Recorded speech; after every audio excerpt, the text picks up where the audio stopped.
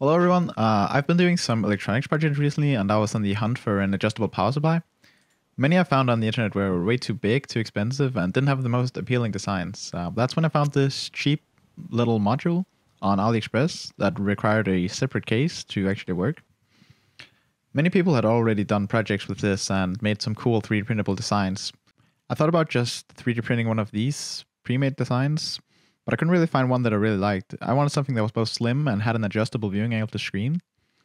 When I looked around a bit, I found these old oscilloscopes that use a handle to adjust the viewing angle of the screen. I thought this was a good solution to the problem and decided to incorporate it into my design. So I drew some sketches on my tablet of what I wanted. I also drew some inspiration from my old flip clock and added these ridges for visual flair. When I was happy with the design, I started drawing it in CAD. It consisted of five parts, the main body, the foot as I call it, a couple of knobs, and a backplate. Now this was looking kinda good. I printed up the parts, the small parts I did on my Ender 3, while the main body I printed at school. The reason why this module was so much smaller in the first place was because it required an external power supply. This is different from those laboratory grade adjustable power supplies which have an internal PSU. This module requires something like a laptop charger. I accounted for this in my design by making space for a USB-C power delivery board this meant I could use my laptop charger to power the whole thing. These boards take USB-C input and can output up to 20 volts. Now, wiring one up requires a bit of soldering, but after that it's as easy as connecting it to the screw terminals on the module. Now, for the foot to be adjustable, I needed a couple bolts to act as hinges. These bolts I could screw into the knobs by some using some printed inserts.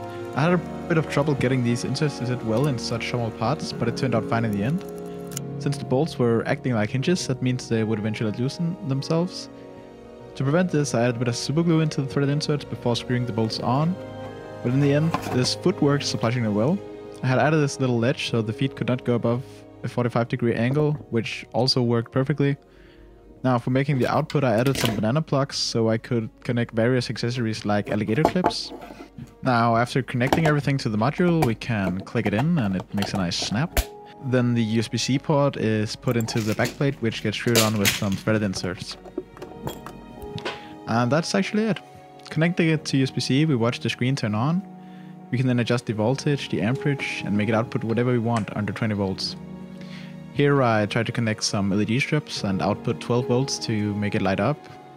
I also tried connecting it to a fan.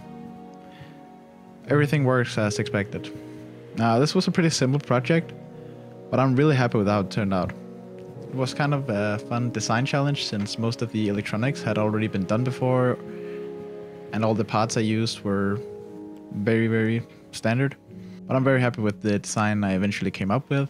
This thing is very easy to put in a door or put it in my backpack for on-the-go projects. Yeah, that's it guys. Uh, thank you guys for watching. I'll see you in the next video.